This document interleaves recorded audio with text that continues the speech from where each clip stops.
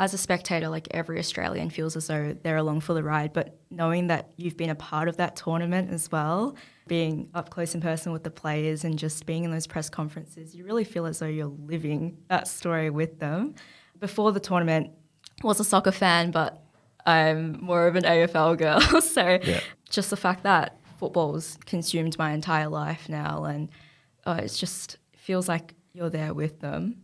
Um, you just want to see them do well. G'day, guys. Coming up on the show today is Vi Truong. Vi is a journalism student who's just had the experience of a lifetime volunteering on the FIFA Women's World Cup in Melbourne in media and communications. Today, you're going to hear exactly what it was like for Vi behind the scenes, plus, there's even a little surprise for you regarding her next opportunity in sport as well. So, let's go. I started volunteering. It's all about who you know in sport. Am I going to be calling the last 10 seconds of the grand final? You can connect with the interviewer. The hand goes up when they've got to make a decision. Having a network is one of the most important things you can do. I didn't necessarily follow my passion, I followed my curiosity. Once you've worked in sport, there's no going back. And then lo and behold, before I left, I got offered two.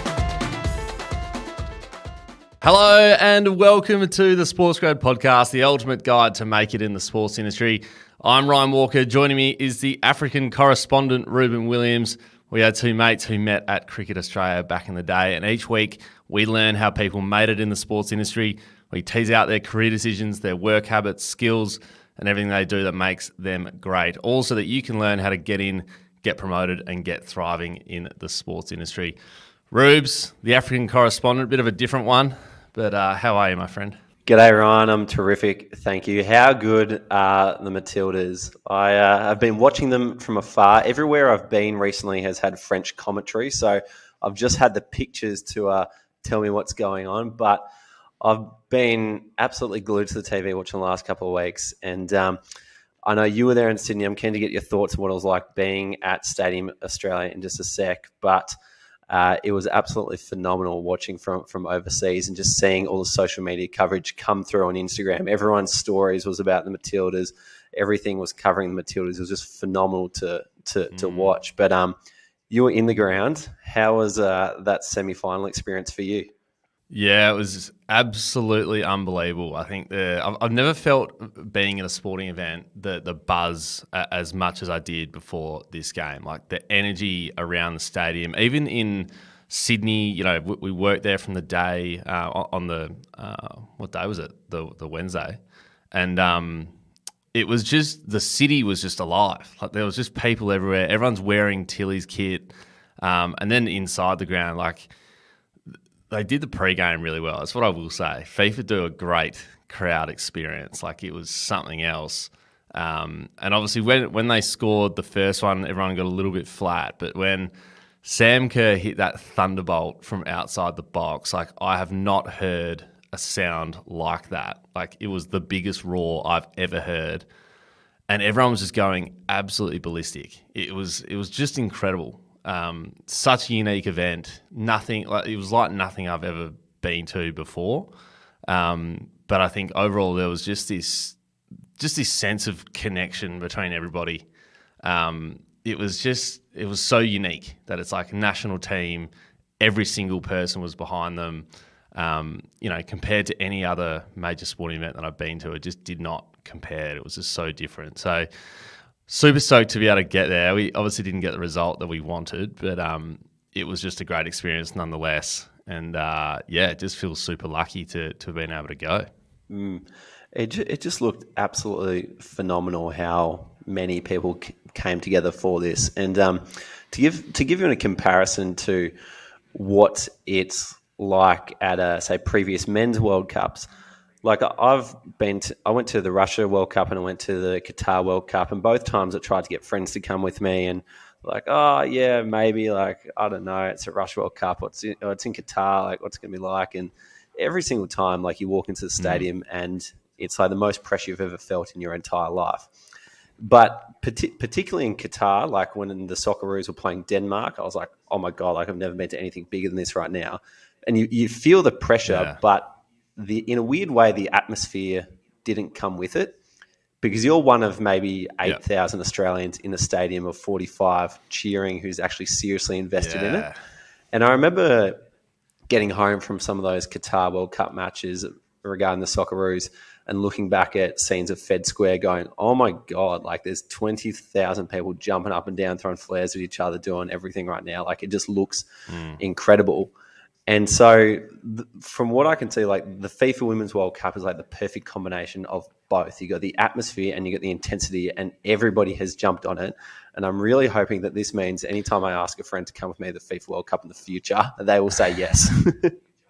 Yeah, yeah, absolutely. It was it was genuinely felt like there was seventy five thousand in there, all going for the Aussies. Um, you know, sprinkled with some some palms in there. Um, there was some around us, but um, yeah, no, it, it was just insane. It, it felt like th- genuinely everybody was going for the Tillies, and uh, yeah, just the sound and atmosphere that came with that was just incredible. So, yeah, oh, I think you'll have a few more mates at the next World Cup, mate. I don't think you'll have a you have an issue, but yeah, I'm thinking like you know any Matildas game going forward, like it, it's gonna sell out. Like it's it's changed the whole atmosphere of this, and um, yeah, it, it it's just changed the game. So incredible experience, super lucky, um, and yeah, can't can't say much more. It was just one of the best things I've ever been to.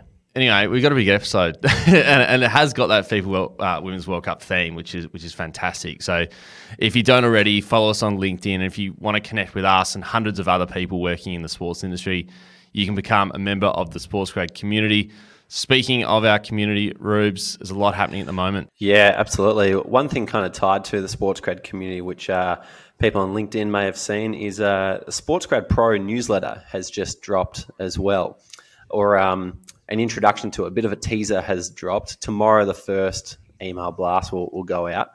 And um, so, for those people who have uh, entered into the industry, we know there's you know over 400 of our members have got jobs in the industry. For those people who are looking to get better at their job, this newsletter is specifically tailored to you. So, if you want to get information about you know what CEOs, execs, founders, other elite operators in the sports industry do um, that underpins their success, then um, subscribe to this newsletter because this is what will help you progress in your career. In terms of our current community, a massive shout out to uh, the 33 members who are volunteering on the FIFA Women's World Cup. Uh, we had a job fair with their HR department before the tournament, and as a result of that, we've had a massive amount of members have the time of their lives, and we're super lucky to be able to chat with Vi, one of them, very soon. But then also a big shout out to uh, Sam Hickson, another member, another friend of the show, been on the podcast twice, event manager at Football Australia. He's just had the time of his life uh, helping put on the World Cup from an event management perspective.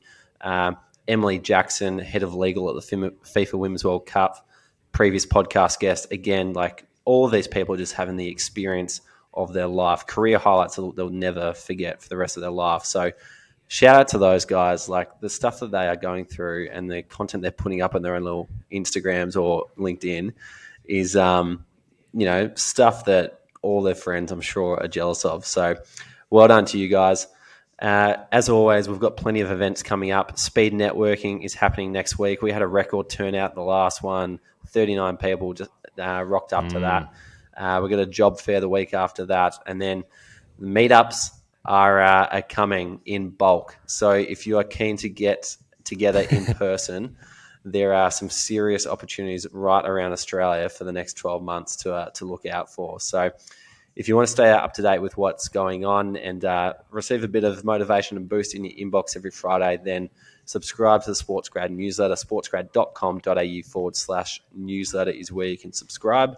And there is also a link in the show notes to join. Brilliant. Yeah, I um I'm super pumped for our meetup calendar to come out, Rubes. Uh, I don't think in our history we've been this organised in terms of planning our events in advance, but soon, I guess anybody who's tuning in who's been to a meetup, you, you know, you'll be able to experience that and I guess know when they're happening a year in advance. You can put them in the calendar straight away and uh, and get involved. So super exciting times, and I like how you said in bulk because they're going to come in bulk, and it's a really great way of saying it. Would you would you would you say the atmosphere is on par with Matilda's games? Yeah, Atmos is the exact same, uh, no matter where you go.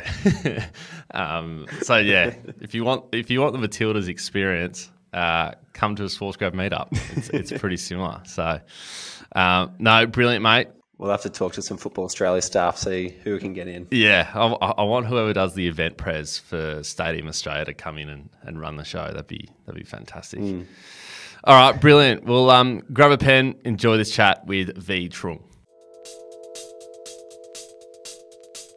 Everybody wants to study at one of the top unis in the world for sport. And at Deakin, you can do just that. So don't miss your chance to see what sets them apart at their campus open days this August.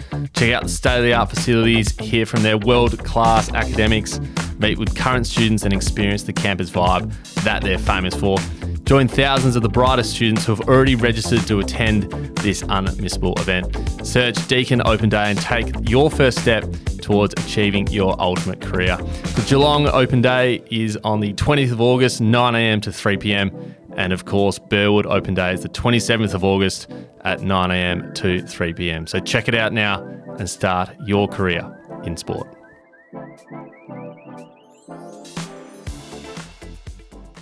Vi, welcome to the Sports Grad podcast. Thank you for having me. I'm super excited to be here. Vi, it's wonderful to have one of our own members come on the pod every chance we, we get to speak to a member. And wonderful that we get to speak to someone who's just been working on the FIFA Women's World Cup too.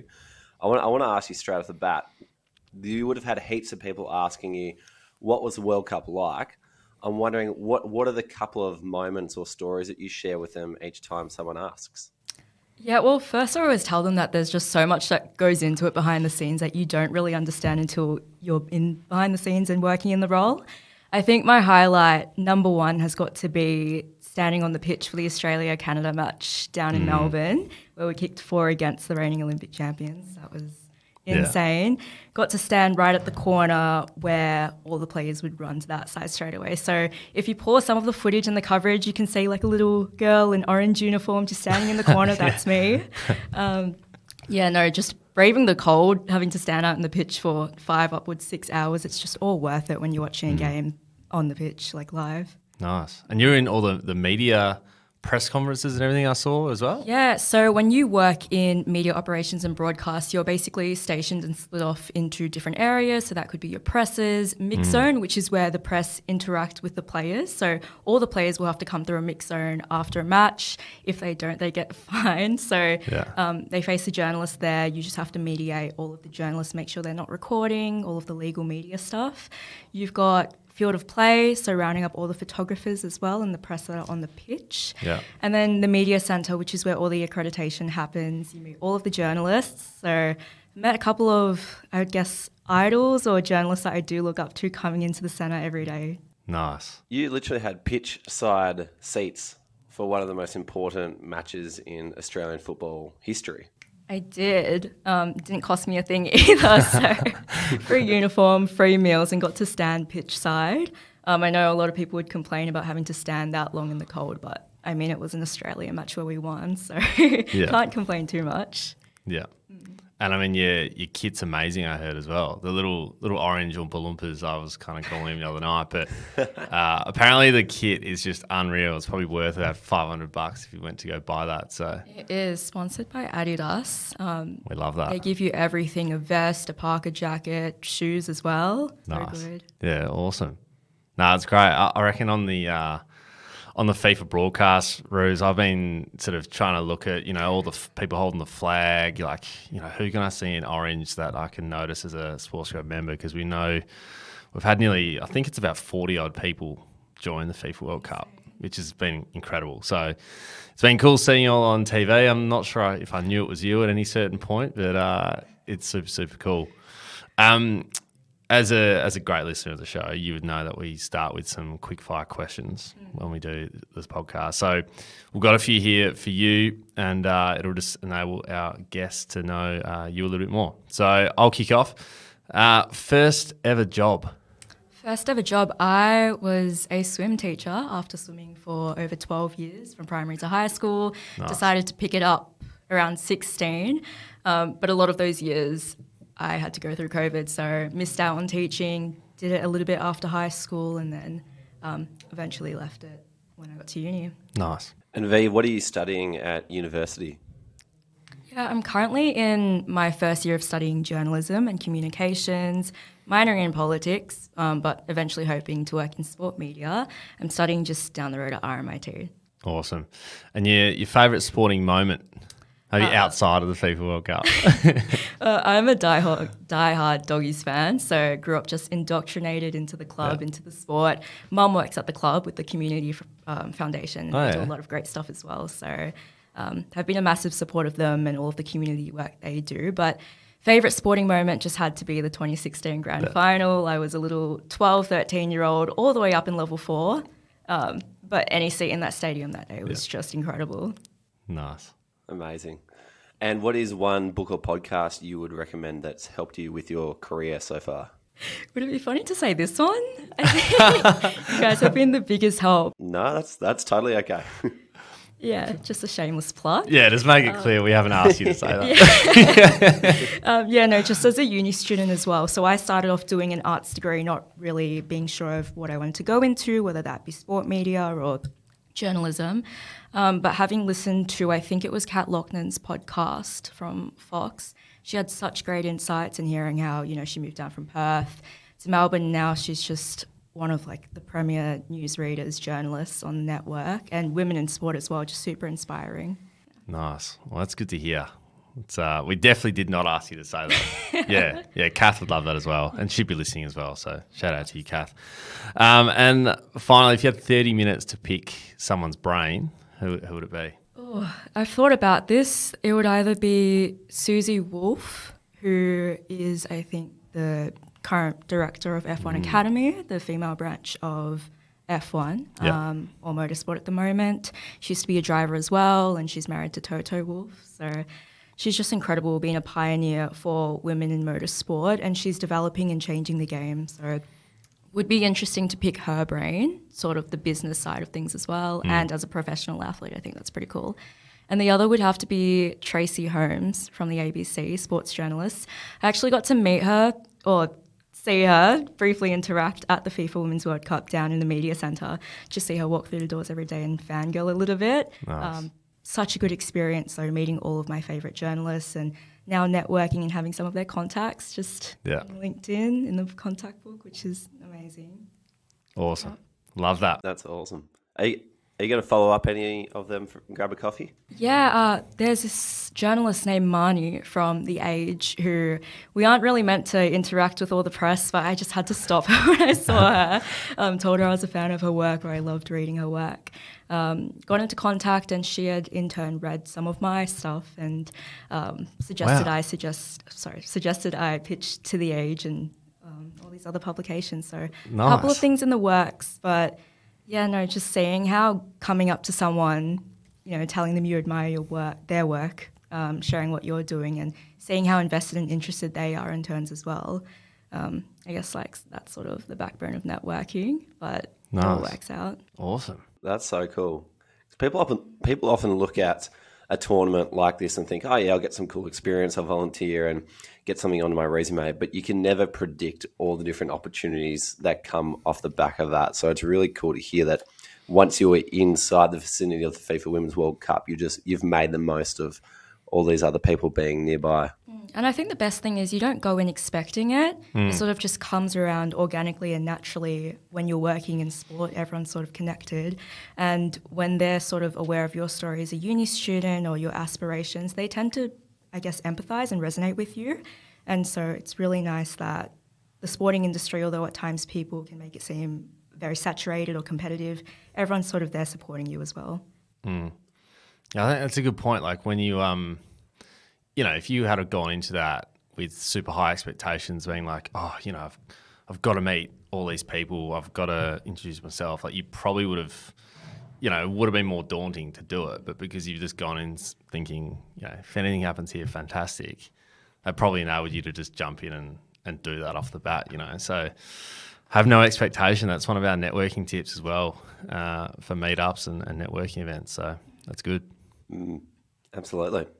Awesome stuff, Vi. Well, let's dive in. I'm really keen to hear more about the tournament. Um, you touched on it briefly a bit then, but could you just explain uh, to listeners what your role was during the tournament? And could you tell us a bit about what your day to day was like, maybe pre tournament and during the tournament? Yeah, so my role was a media operations and broadcast volunteer. We had a team at about 20 people.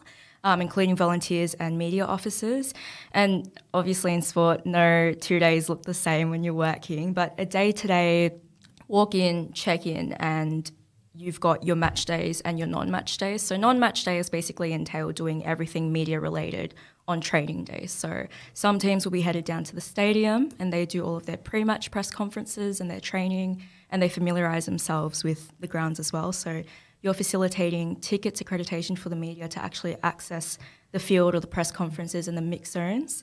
Um, and then on match days, you come in around three hours before, set up the media center, make sure all of the tech is fine, ready to go. Um, set up the press room, the media tribunes as well. And the rest of the day is just being stationed at one of uh, the places I mentioned before. So the field of play, um, press conference, mix zone, up in the media tribune. Mm. Either way, you get to watch the match, you get to enjoy it as well. Um, but pretty much just making sure that media are complying um, with everything in terms of legal uh, broadcast rights um, making sure that they aren't, for example, recording players as well or being too invasive. Um, but yeah, no, just making sure that they're getting everything they need to adequately cover the match, um, and you get to enjoy it, just helping right. out. Yeah. So do you literally like your you literally have to like set up microphones and stuff, like make sure that everything's there. You know, there would have been sponsors that you have to set up there as well. Like, is it literally that deep? Yeah, so you've got some people who set up all the sponsorship stuff, but in terms of interpretation, microphones, um, mm. your media officer or our direct supervisors are the ones who are actually mediating the press conferences. So just making sure that's all ready to go for them as well.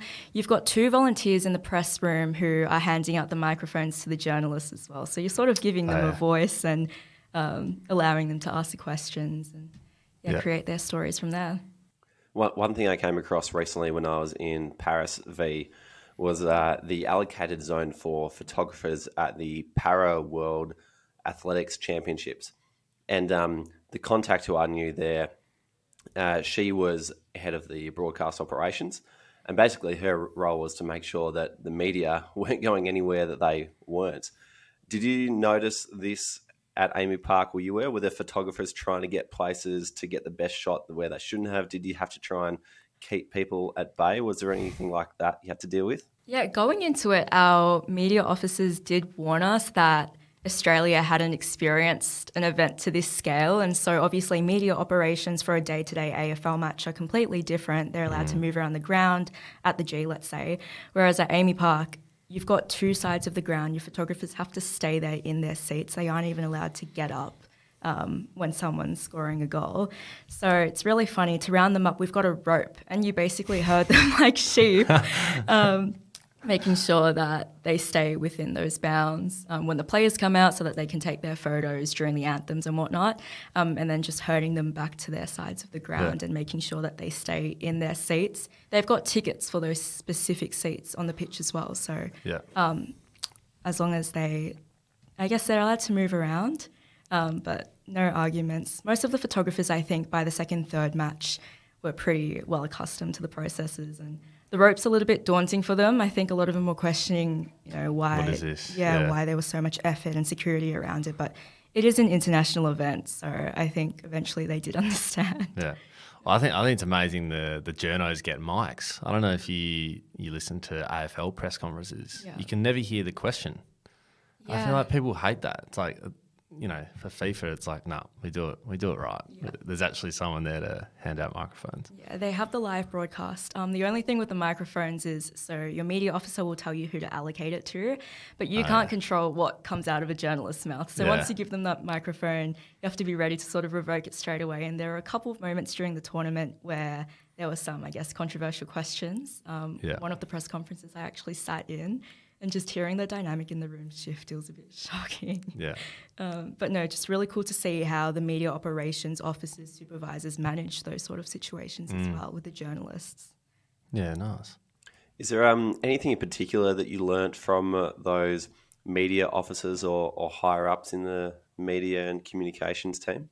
I think that, um, I mean, working for FIFA seems so prestigious and so high up, but my main FIFA media officer, she actually started off as a volunteer, I think, back in 2014 for FIFA as well. And slowly she graduated, got her communications degree, started working her way up and working in leagues such as the Euros. Um, and so this tournament, she worked Qatar last year as well. But yeah, she started 10 years ago as a volunteer, and 10 years later, she's out here mediating press conferences, you know, liaising with and controlling um, all of the legal rights and, you know, contacting players, making sure their media teams are um, sort of following the schedules as well. Wow. Gee, that shows, you know, literally where you are now. It's like you just volunteered at the tournament. Who knows what's going to happen in 10 years' time, you know? And the people you meet as well. It's just going to lead you right to where you want to get to. Um, tell us a little bit. Tell us a little bit about how you actually landed the position. Yeah, so it was advertised, I think, in the server back in December, which is when I would have joined Sportsgrad. I was actually doing another internship at the time as well, but thought I might as well apply for it. So the server being the uh, Discord server, for those who aren't aware. Yeah, just on the job board posts. Um, just went for it, applied. I think a month later, either December, January, they held group interviews. So just randomized groups, getting to know who you are, background checks and whatnot. Um, and it did take a while for them to get back, but eventually they assign you your roles. You have a preference basically into which workforce you want to be allocated to. So I had media operations as my first preference, and I was lucky enough to get it. Um, and then they send you training modules the next couple of months. They roll it out until July. You go pick up your uniform, do your induction, super fun, and then you just sort of get straight into it. My first shift was a game day, so sort of thrown into the deep end, not really sure what to do, but when you're on the job, you pick it up really quickly. Yeah. Um, and the media operations team are just incredible. So Yeah. What's uh, what's your advice with uh, group interviews? I had I had someone ask me this the other day. Like, what what's some tips for a group interview? I think it just depends. I think reading the dynamic, being able to Yeah. read the room as well, because I know a lot of people do recommend that in group interviews you do sort of take the initiative to step up, but it's also showing that you're receptive, you're a good listener. Um, asking questions, I think, is a big one. Yeah. But I think I'm lucky the FIFA dynamic was very welcoming. I think we had about three questions each. Um, and a couple of the other members had gone through their interviews and were, I guess, good enough to share what the questions were going to be. So it gave us a little bit of a heads up. Um, but yeah, no, super friendly. I think group interviews are just mainly to get to know, Yeah. you know, if you'd be a good fit in that environment. So as long as, I mean, you know, cooperating, I think there's nothing wrong with that. So, Yeah. so were you, were you chatting with other sports grad members who were going through the interview process at the FIFA Women's World Cup and everyone was just sharing the process and the insights with each other? Yeah, I can't remember which chat it was. It might have been like the Ask um, Sports Grad chat. But people were just sharing the questions, sort of how they approached them, how they answered them. No wrong answers, but no, it's just really nice to sort of have that prefacing guide as well for me.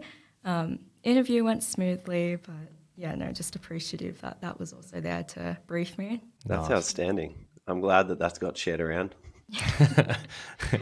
It's like it's not cheating. It's just literally talking about it, right? No, exactly right. Exactly. And and Vi, when you got the job, do you remember where you were and how you reacted? Who did you tell first that you were going to be working on the FIFA Women's World Cup? Might have been at uni. I think most days I'm at uni. Um, just message the friends. It's funny because I think a lot of the marketing for the FIFA Women's World Cup back then hadn't ramped up yet. So a lot of them were like, "Oh, there's a Women's World Cup in our city." I'm like, "Come on, guys, get on it." Um, but yeah, no, I was just super excited. A lot of my friends aren't really into football, but even just seeing the development and the evolution of women's football now, you know, they're headed down to Fed Square hmm. every week to watch, and they're so into it as well. So seeing how it's just captivated so many audiences, I reckon this tournament will be a major turning point for women's football in Australia. Yeah, absolutely. Yeah, it's it's crazy, isn't it? Like, you know, on the on the weekend, I, you know, I went to the pub with four or five mates to watch the game, and it's like, it's just incredible. You, you looked around, nowhere, you couldn't get a seat. It was just absolutely chockers, and it was just crazy. It just felt like it, it, it does feel like there's been a shift, mm. 100%. Like everyone used to get around the Socceroos, and this just feels, you know, like the same. It's the World Cup, you know, Yeah. and everyone's around it. Mm. Everyone's involved. It's just, it's incredible. So it definitely does feel like there's been a shift, even though, like, I feel like, you know, when there are women's tournaments in different sports, everyone's like, this is going to be the catalyst to change. And I feel like mm. sometimes, you know, that doesn't get acted upon straight away. And I think like this tournament especially just feels like this is just going to keep rolling, mm. which is which is unreal. So And yeah, that last game against France was the most broadcasted or watched, um, I guess, sporting program in Australia mm. for the past two decades. Mm. Yeah. Since Cathy Freeman's um, gold medal run. So I Yeah. think that speaks volumes in itself. yeah, totally. So we're, we're recording this on the Monday, a couple of days after the Matildas have just made the semi-finals of the World Cup. Vi, before you before uh, you joined the FIFA Women's World Cup, you would have had no idea how far the Matildas would go, given what they've done so far and hopefully continue to do. Has that changed how you feel around this piece of work work experience you've been fortunate enough to be a part of? It has. I think, you know, as a spectator, like every Australian feels as though they're along for the ride, but knowing that you've been a part of that tournament as well, um, being up close and personal with the players and just being in those press conferences, you really feel as though you're living that story with them. Um, before the tournament, was a soccer fan, but I'm more of an AFL girl. so um, just the fact that football's consumed my entire life now, and uh, it's just feels like you're there with them. Um, you just want to see them do well. Yeah, totally. Amazing.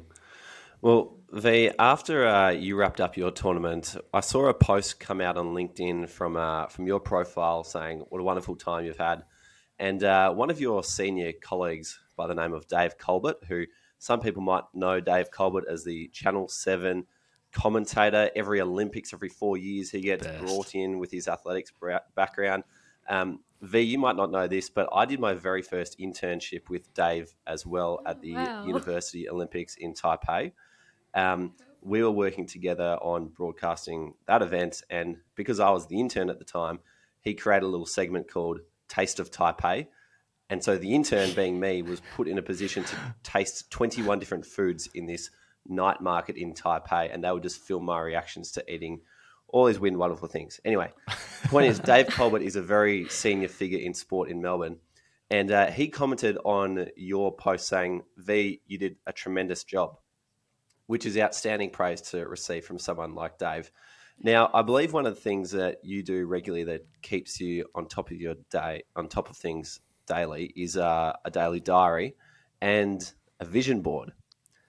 And I was wondering for other people who might want to make the same progress you've made in your career, can you explain what the use of each of these looks like? And how has each of them made a difference in your success within this role at the World Cup? Yeah, well, I think both the vision board and the daily diary keep a sense of accountability because we know that motivation isn't always, you know, um, a flowing source. So just having something that details, you know, day to day what you're going to do, but not being too strict with it. Um, I did my VC throughout COVID. And so just having a daily agenda really helped me to tick off and make sure that I was sort of following through all the things I needed to get done. Um, the vision board, I think, just captures or encapsulates sort of where you want to be beginning of the year and then the end as well. Um, the most important part is sort of keeping it open and being open to obviously add to it, redact from it, and change it. Because especially working in sport and media, um, it's not a very linear pathway. Things can change very quickly as well. So I think my vision board beginning of the year was just to tick off an internship or to volunteer in sport, which I've managed to do both by August. Incredible. Um, but yeah, no, just having the goals there, having an outline. I know Sam Hickson a couple episodes ago said he had sort of a 10 year plan, um, which is something that I've sort of wanted to establish as well. But just Yeah. taking it year by year and having that long term vision to sort of keep you accountable um, and just uh, making sure you've got that, um, I guess, goal to keep you accountable. Yeah. So do you write in that in the morning, or is that like a nightly thing, or Um, in the morning. Yeah. So wake up, have a diary, just look at the vision board, um, and usually they sort of align um, with Yeah. each other. Just have my daily tasks as well, make sure to schedule in some breaks. Um, but yeah, no, just little things which will sort of hopefully eventually lead to ticking off one of those goals on that greater vision board. Nice. That's awesome. Love it. Have there been any significant changes to your vision board this year? And after the tournament, are there any new things on your vision board or things you've taken off? Yeah, I think after the tournament, I've just been more motivated than ever to actually sort of land a permanent role in sport. At the beginning of the year, I was sort of open to, I guess, exploring different avenues of journalism, whether that's like cultural studies, um, hard news reportage. But after sort of immersing myself in that World Cup experience and earlier working for Ministry of Sport, that sort of allowed me to dip into a different avenue um, in terms of sports business as well. So just being more open to the opportunities in the sporting industry um, to hopefully this time next year securing a, f- I guess, some form or capacity um, job in sport. Nice. It looks like you're right on the way. We're only at August, so Yeah. hey. And you got Unisport as well coming up. Yeah, I've just started my Unisport internship last week with them. So, doing all of the social media, digital media, uh, journalism, all of the engagement leading up until September's Nationals. So, flying up to the Gold Coast, which is really exciting. Never Nice. flown anywhere by myself as well. So, um, Awesome. To be paid to sort of work as a uni student in an Yeah. internship is just incredible. Yeah, nice one. No, that's fantastic. And I mean, we did say before we didn't ask you to talk about sports grad, but how did the community help with that? And obviously, you joined. What was it? Sort of earlier in the year. Uh, Um, what sort of you know made you join, and, and, and what have you got out of it so far? Yeah, I'd been floating around sports grad for the past couple of months before I joined. I'd seen the ads and sort of heard from other people in the community. Um, decided to join in December, which is when I actually swapped to unis as well and was more decisive about wanting to get into media and journalism, but, but not really knowing where to start and not having sort of a basis of contacts at all as well. Um, I think the most important thing is just having that supportive community, being able to ask anyone um, at any time a question, um, no matter how sort of stupid or simple it might sound. Um, and as a uni student as well, just having industry professionals, but also other uni students and people in your position sort of working together and sort of uplifting each other. Um, it's really nice having that expertise from a lot of people who are actually working in the mm. roles that you want to get into as well. And again, on the empathy point, I think that's a big thing in sport that it might be daunting and scary to reach out to someone who's already working as a professional in the industry, but most times they do look at you and, you know, maybe 10 years before they were in your exact position. And so most of the time they're willing to help. Yeah. Amazing.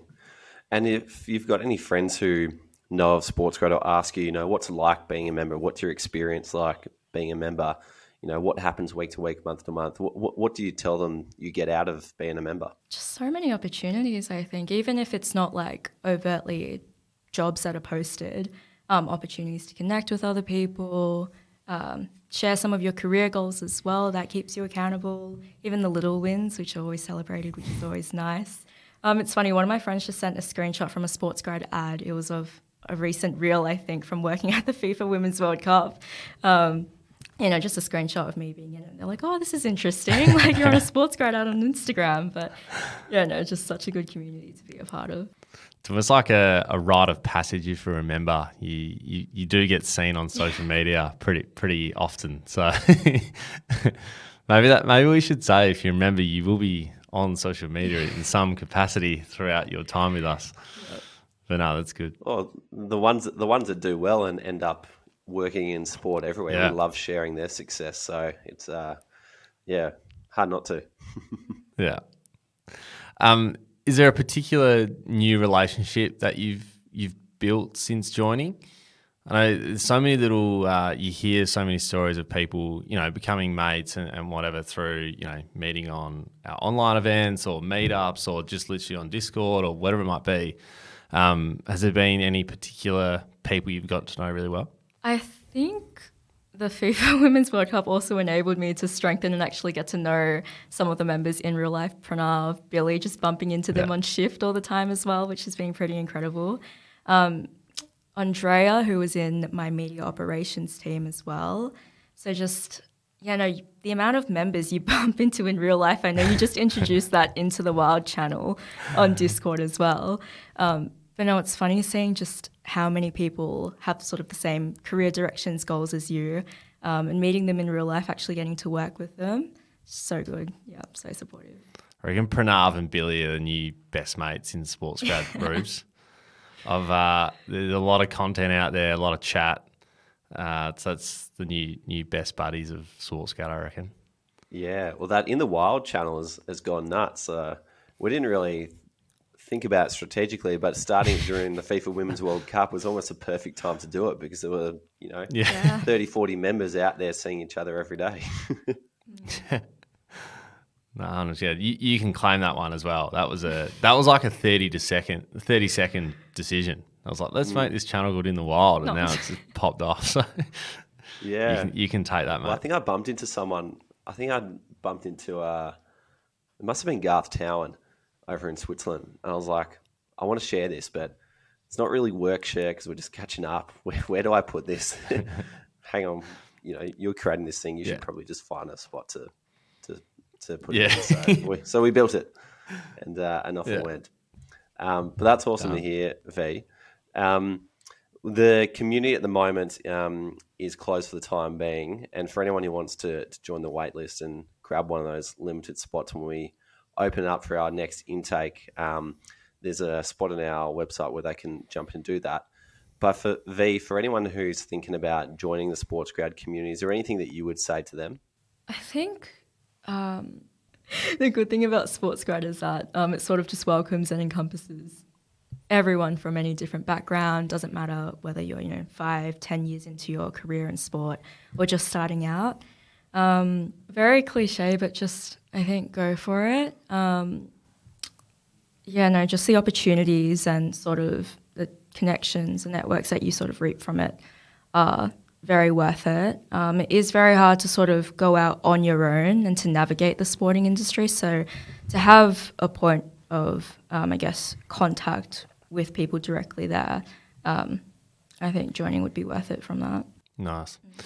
What what's some advice? You know, because a lot of people want to just finish uni and go just get paid straight away into a full time job. Like you, you're volunteering, you've done internships, like you know, you're still going through that process. What what's some advice for people who you know haven't looked at volunteering internships yet that is kind of fixated on that that job at the end? Like, is mm. any advice for those those guys coming through? Yeah, I think it's a bit sort of like narrow sighted to look straight into the paid avenue. Um, Ruben posted something on LinkedIn, I can't remember verbatim what it was, but it was sort of saying that, um, you know, people may question the amount of volunteering or unpaid hours that you do, but in the long run, that builds up sort of your perspective, um, your empathy, and your experience to actually getting a job in sport. And your employers do appreciate all of the grassroots and the volunteering work that you do. Um, but just connecting with people sort of at a grassroots level, those sort of set up the foundational skills for you to work in sport.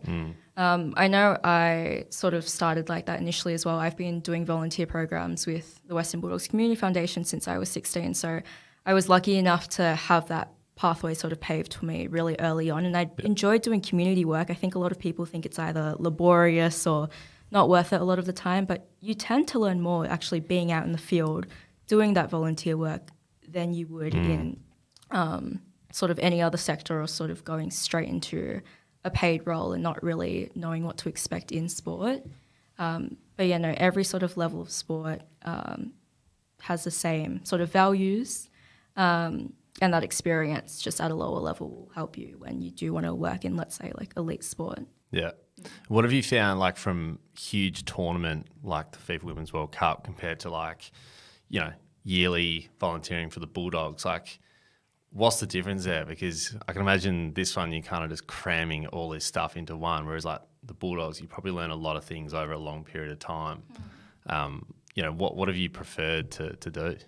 Yeah, exactly. It's exactly that. Um, they're both very fast-paced environments, but with a tournament at an international scale, you do tend to pick up a lot more um, and especially with media and broadcast operations having to deal with uh, people from all different walks of life, um, from all over the globe as well, you tend to pick up um, particularities with how they approach, let's say, media operations. Um, whereas volunteering with, let's say, the Western Bulldogs, you do learn a lot, but there's a lot more, I guess, time to engage and really get to know the programs and the people you're interacting with. Yeah. Um, a lot more in fleeting encounters with FIFA. You know, you might encounter a journalist and make that connection with them, but not see them until you know the next time you're working an international event. Whereas with the Western Bulldogs, you're based in Australia, but you do form those connections um, to a deeper level, I Yeah. guess. Yeah. Um, so both meaningful, but I think with uh, yearly volunteer programs, you have sort of more space to really develop, hone in your skills um, and your experience throughout the year. Yeah, awesome. Amazing. And Vi, what's what's next for you? Is there any other? You mentioned the uh, the nationals coming up, but uh, in terms of um, skills or strings to your bow that you're looking to to build on, what, what are you trying to grow within yourself? I think within like journalism, media, just upskilling. I know communications, PR, media, all sort of lumped into one these days. So I'm not the best with sort of the digital media, video side, which is something that I've brought up uh, with my supervisor Kylie, who works at Unisport. Um, to hone in on that, in addition to my journalistic writing skills. So, just making sure, I think that sets you apart as well, making sure I'm well rounded with the social media engagement marketing side, which actually makes sure that your content and your journalism has an audience and has a reach and ultimately an impact.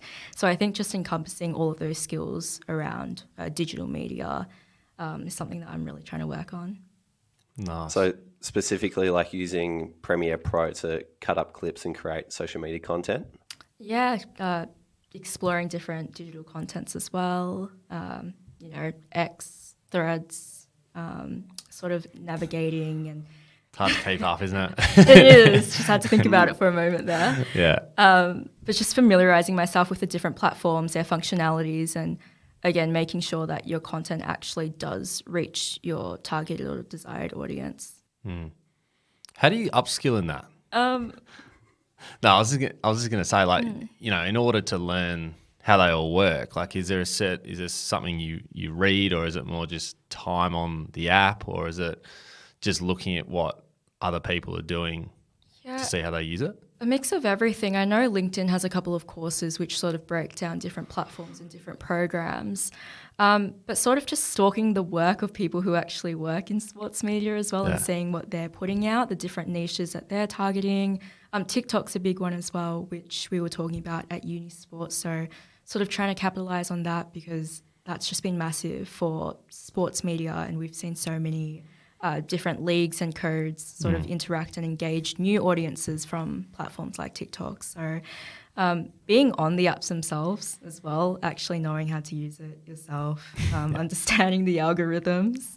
Um, but yeah, it's a lot of, I think, self initiative into learning those things because uh, your unis, oftentimes, they won't sort of teach you how to use social media or find uh, the ways around it. So, um, just sort of seeking out those courses, reading, and uh, taking inspiration from other people who are actually working them.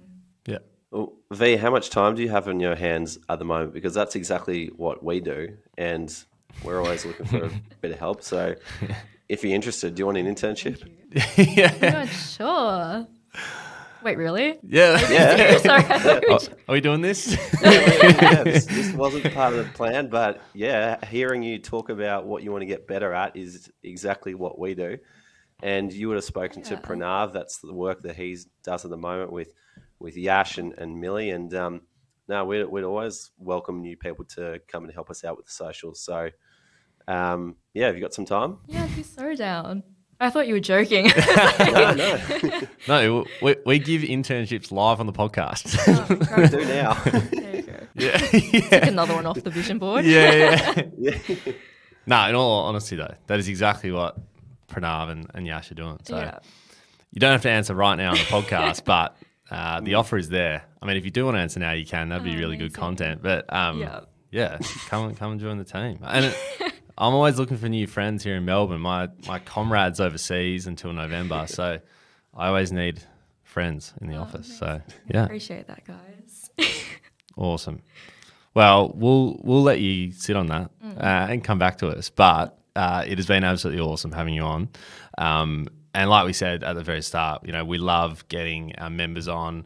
Um, and you know, I know you're a little bit like, why am I on here for a bit there? But I think it's just fantastic seeing your journey. And you, yes, you are you're early on, but you're doing some extraordinary things that not a lot of people are, are doing at this at this stage of their career. So, um, one of our very favourite members, you're an absolute star. So, thanks for coming on, and, and good luck on the Gold Coast. We might might see you up there as well. Thank you.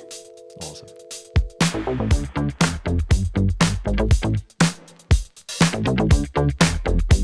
Guys, it's time now for the People's segment, Ask Sports Grad, where every week we answer a question directly from our community. If you love to ask a question, first become a Sports Grad member at sportsgrad.com.au slash community, and then you can add your question to the channel named Ask Sports Grad.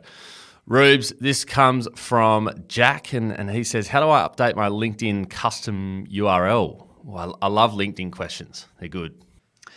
Yeah, great question, Jack. And uh, this is uh, one that is uh, it's a little one percenter. We've got a bunch of LinkedIn one percenters that make a big difference difference to your profile, and just by making these changes, make you appear as a clean, confident, uh, prof- sophisticated user of uh, LinkedIn, as we as we say. I love that. And um, so, so the reason why you want to do this is because if you create a LinkedIn profile, it'll spit out a random URL and it'll have your name and it'll have about 17 random letters and numbers at the end of it. And it's just long and it's messy. And it means anytime that you want to copy and paste it anywhere, it looks long and messy. And now the reason why you might want to copy and paste it somewhere is, for example, if you were to put it on your resume, which I have got it on mine, I've had it on my resume since university. And um, it's just an easy way for you to link your online presence to your to your resume. And but if you link that to your resume with about 17 random letters and numbers at the end of it, it just looks messy. It's taken up half the page. It looks silly and it looks unprofessional. So if you're going to be sharing your URL around like this, you got to clean it up. And trust me, it makes a difference because when we had HR manager Daniel Simons on the podcast, who's the uh, director of people and culture at the Victorian Institute of Sport, he said, if you can't format your resume correctly, how can I trust you to do high quality work or to give a great presentation when you can't do the little things like tidy up your resume? So people notice this stuff. Yeah. Now, the way to do it is very, very simple. If you go to your LinkedIn profile, click on settings, go to custom URL, you will find it all there. And simply just change it to your name. I think, Ryan, yours might be like Ryan Walker 95 or something like that. I think Yeah. mine is uh, Ruben JW. So something short and spiffy that that um, that uh, you know is clearly you, presents well on paper, and uh, and it's just that little one percenter that can make a big difference. Yeah, hundred percent. I I think it's it's crucial. It, it looks so messy. You've just got a random URL. I don't know. Sorry for those people who have a random URL, but this is your reminder to fix it. Um, so this is just a yeah. The the- the one percenters count and they matter. So this is just one of those small things to to get on top of. Brilliant. Well, if you'd like to ask us a question or ask our friends in sport a question, sign up and become a member today. Each fortnight we jump on Q&As, speed networking, job fairs, you name it, and it's your opportunity to ask industry professionals any of your burning questions. And all these sessions are recorded, so you can go back and have a look at those in our exclusive content hub, which is uh, amazing. It's packed. There's hours of content in there, so it's all for you to explore. In the meantime, find us on LinkedIn, give us some love with a rating if you enjoy the show, subscribe on Apple or follow us on Spotify. Thanks for listening. We'll see you next time. Hey guys, one last thing before you go. If you'd enjoy a quick email from us each Friday on all the latest job openings, networking events, Q&As with industry professionals and latest podcast episodes, then subscribe to the Sports Sportsgrad newsletter. Head to our website www.sportsgrad.com.au forward slash newsletter to subscribe. There's also a link in our show notes to join.